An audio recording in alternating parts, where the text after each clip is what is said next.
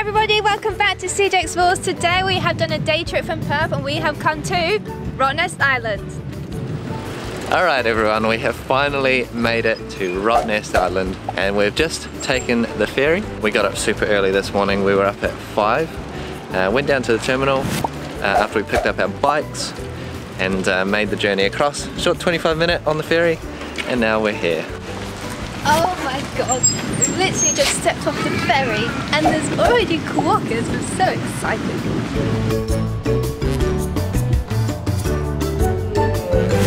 How many quokkas have you seen already?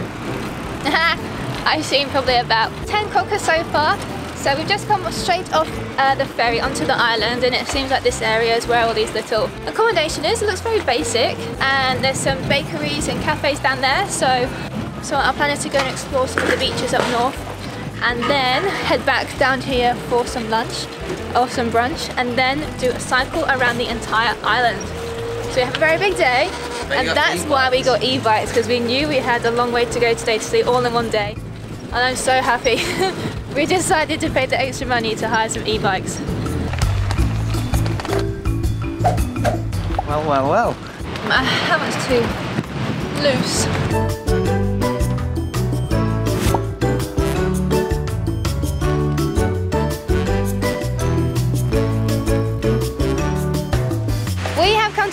Beach here on Rottnest Island and it's Pinky's Beach.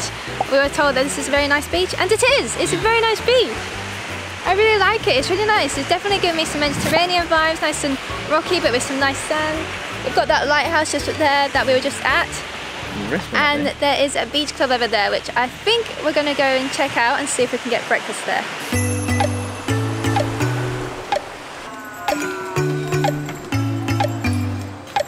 Like they have some really cool safari tents here to stay in and it's like a nice little beach club, they've got a good pool there. Okay, so we have got breakfast from a couple of different places. Charlotte has gone for Frankie's on Rotto, and I went to the lane next door. I've got some avocado and a coffee, and I nearly had it stolen by a quokka. You can't sit it down on the floor or on bench seating because they will jump up and they will have a go at it. They even tried to steal my coffee. We're having a very special breakfast date this morning with the quokkas at Frankie's. Naughty boy. I want to stroke him. Next to Pinky's Beach is the basin and I have to say this little pool of water looks so inviting.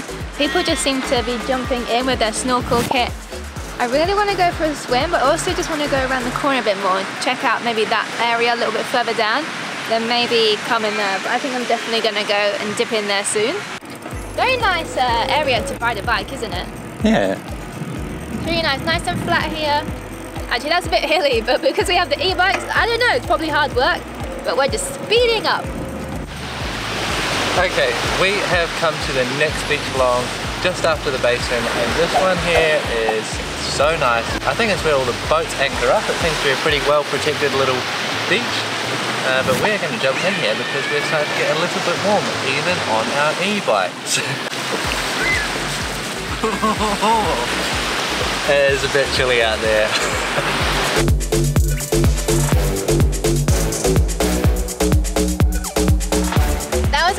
swim. It's a little bit cold, but nothing you can't handle. The weather is perfect, so it's 38 degrees on mainland today at Perth City. But here at Rottnest Island, it's a high of 29. So much better, we can definitely handle that.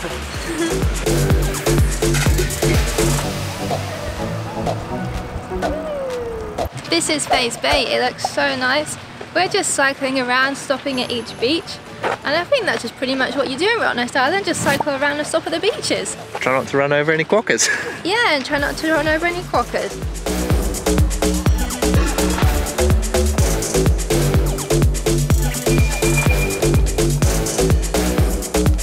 There's some people snorkeling out there by the rock. We're at Geordie Bay now, but it is shark water, so I don't know. I'm not sure if I would do that. But I want to get back in the water soon because I'm getting pretty hot. Should we go in here or the next one? Next one. Alright, let's go.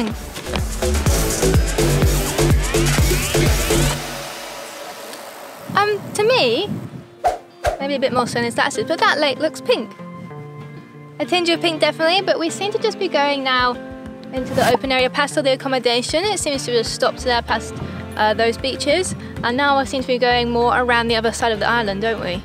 So located all around the island are these maps and they give you a little bit more information of the area which you're passing through. So right now we've just gone past Geordie Bay, past Parakeet Bay and we are going to continue west around the island um, and I think it's getting very much uh, less infrastructure here, less buildings and less food and stuff. So we don't have any plan today, we are just cruising around the island stopping off at all the ways and seeing everything there is to see um, there are some sand dunes here. We're in Armstrong Bay now. And I think this is Parakeet Bay in particular that we're going to go and check out.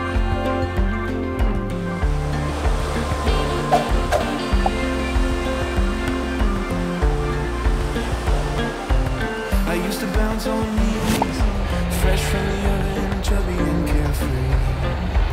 I had a I really like that beach. That was really nice. Maybe my favourite so far. Parakeet Beach. Yeah, definitely add that one to your list. Really nice. Really get Mediterranean vibes from, well, it's Trigg Point in Perth. And then, yeah, just all the rocks around here, like the ocean's nice and clear. Just, got the sharks though. No, they just move, remove the sharks. We're in the med. I saw the eyes Cute little secluded bay, isn't it? Very cute. Little Armstrong Bay. It is. So pretty. It just looks like an amazing spot just to spend the day. Kinda gutted now we're only here for one day. On reflection we should have stayed here maybe a night or so and just cruised our way around. Probably should have brought the snorkel kit too. It's just so clear, it would just be nice to see that swim underwater, wouldn't it? Hmm. I'm glad we got e-bikes. Me too. Like it is a bit hilly and it's not, you know, really wouldn't be super hard in, in normal bikes, but I just think if you're short of time and you want to just see as much as you can, then e-bikes are so great because you can go super fast all around the hills. City of York Bay. Ooh, was there a shipwreck here? How exciting. Feels so secluded. Every beach just has a few people on it. Obviously, like when you're nearer to the main centre, that was like loads of kids and it was a bit like, oh. But the further out you go, it just gets more peaceful. In and that water goes The water is very nice. It's so clear and so refreshing. City of York Bay was an excellent beach. I very much like this one.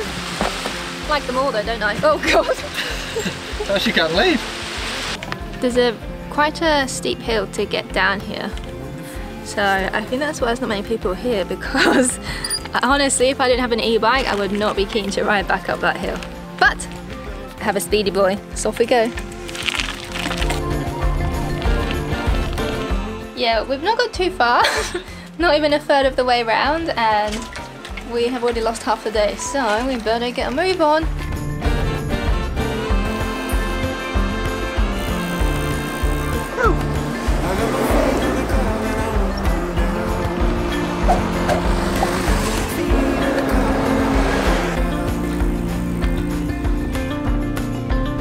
Now we have come to the end of the road now and we have come across this beautiful little spot.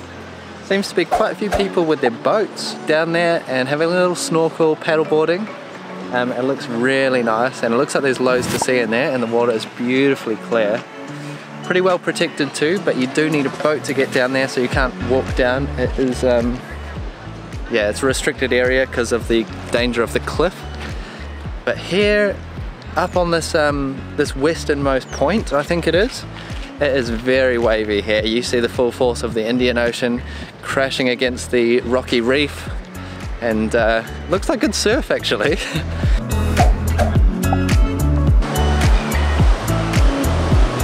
and here we are on the West End Boardwalk.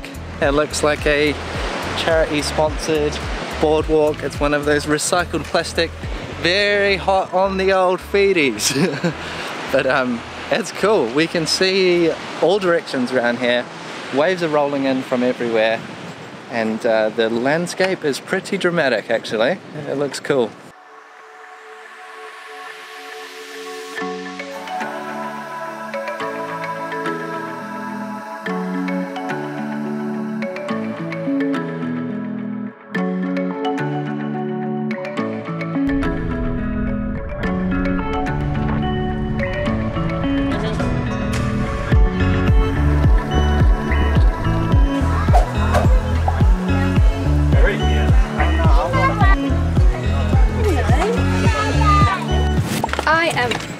Absolutely cream crackered and a bit hot and I've seen an acai bowl truck.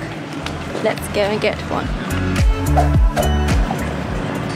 How's your acai bowl? Sugary. We are off to Parker Point and we're gonna go find Porpoise Bay because we got told that it was a very nice one. And it's been about one hour since we've been in the ocean, which is a crime.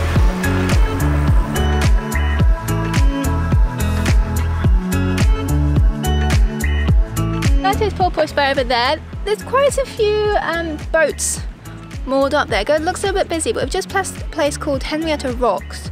Um, looks like there's a cool shipwreck down there too, so we may see if we can go down there for a little swim. Yeah. Yeah, boo. Henrietta Rocks.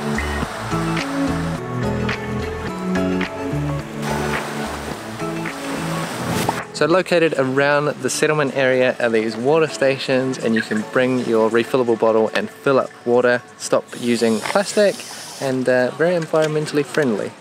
We're back at the basin now and we are going to get back in the water because it's so nice and warm.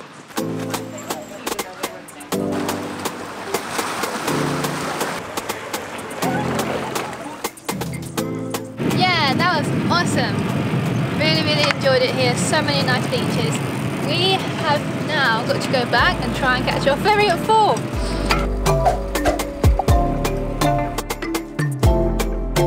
The quokkas seem to be around the settlement. I think they're just here to try and find the crumbs. Um, they're just chilling, sleeping. Um, you're not allowed to touch them, but you're allowed to take selfies with them. but yeah, they are super cute.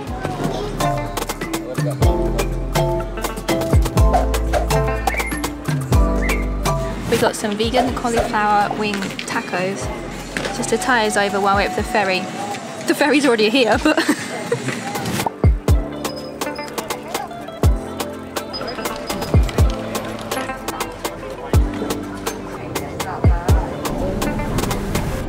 Well everybody, we've had a fabulous day at Rottnest Island. We hope you've enjoyed the vlog. If you've got any questions, leave them below. Otherwise, like and subscribe and we'll see you next time.